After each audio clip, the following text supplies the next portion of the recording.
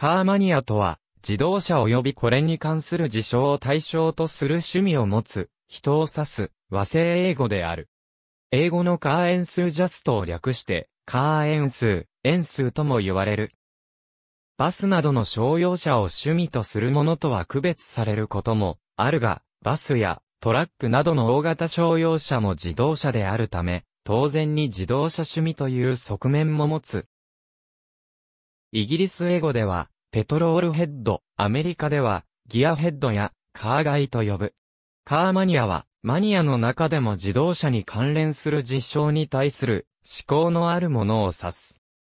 一般に自動車といっても歴史的価値を持つクラシックカー、大衆への普及を目指した大衆車、高価な高級車、性能重視のスポーツカー、高性能かつ高価で市販車としては過剰性能の域にあるスーパーカーまで多岐にわたり、その一方でミニカーのような簡易な車体と小型のエンジンを積んだものもあり、その各々に熱狂的なファンや愛好者がいるなどしており、このカーマニアと呼ばれるものにあっても同様である。自動車産業が盛んな地域では盛んにモーターショーが開催されるが、このイベントでは最新の新型車からコンセプトカーのような試作ないし企業の技術力に関する広報活動の延長上で示される展示物が並ぶが、これが一般では、カーマニアの祭典とも目される。その一方で、モータースポーツの分野では、レーシングカーなど、一般の道路を走行できない特別仕様の自動車で、スピードが競われるが、これもまた、カーマニアの興味の対象である。また、博物館のうちでも自動車に特化した分野の展示物を集めた自動車博物館や交通博物館があり、これも自動車愛好家を集める。この他にもミニチュアのおもちゃであるミニカーに関心を示すものもおり、ミニカーのコレクターも存在する。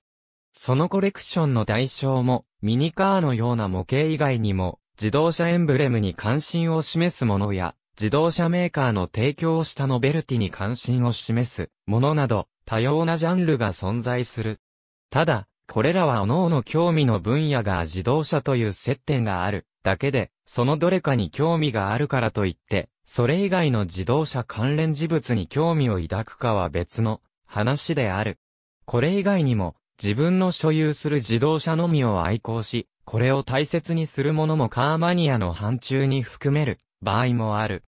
その楽しみ方も大事に手入れして、あまり乗らず、飾るようなものから、運転することを楽しむもの、ドレスアップしたり改造車にして楽しむもの、室内居住性を追求するものなど、様々な系統が見出せる。ありがとうございます。